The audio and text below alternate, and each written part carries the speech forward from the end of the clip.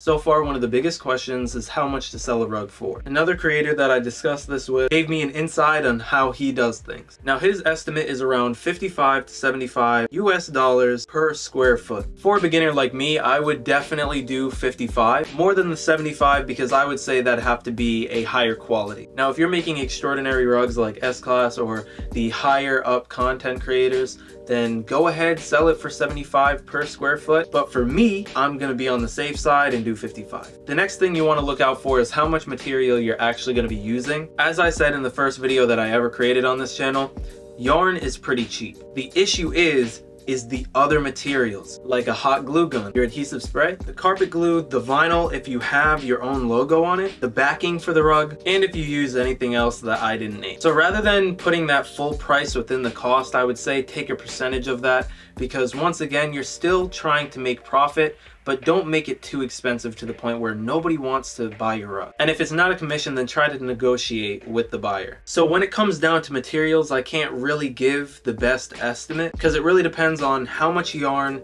the color palette of the rug, and the size of the rug. The last and final thing that I would say is the most important is how much time you end up spending on the rug. Like I said in my first video, the majority of my rugs have been anywhere from four hours to eight hours, so just make sure you're careful with that. Now, if I were to sell my Hot Wheels rug, I would definitely price it around 175 to 200. It's about one and a half by three feet. But if I were to price my MTV rug, I would definitely sell it around maybe 300 to maybe 400. The MTV rug is three and a half foot by four feet, which is a pretty large rug. Now I know that price sounds crazy, but you have to remember, eventually along the line, you are gonna find the correct audience and the right buyer, you have to realize how much your work is actually worth. Anyways, guys, this is going to be the end of the video. I just wanted to say thank you to everyone, and it's been really nice talking to you guys about prices. If you guys enjoyed, please click that like button and subscribe for more content. I will see you guys next time.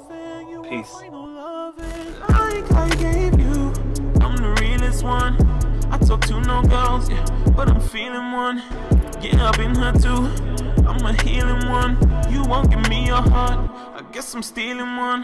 Yeah, back when I told you that you were the one. I still mean it now. You just being you.